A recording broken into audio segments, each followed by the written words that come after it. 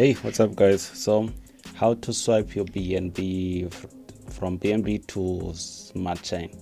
So this is what we're going to do. We're going to come straight on to more here. And then you're gonna come straight down here and gonna swipe to smart chain. And then once you get to that you're going to swap it here. So we're gonna you're going to hit swap okay. I don't even know what they mean when they say this.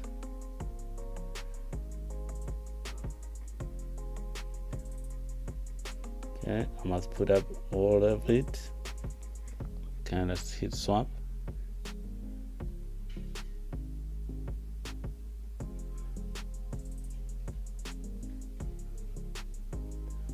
okay so my bnb is little so they want me to do more right?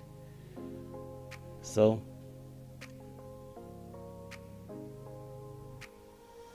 so it didn't go through. So we'll leave it at that. But at least you saw the idea.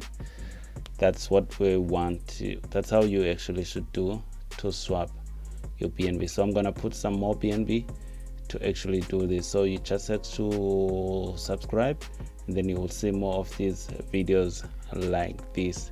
Thanks for watching and i will see you on the next one. Ciao ciao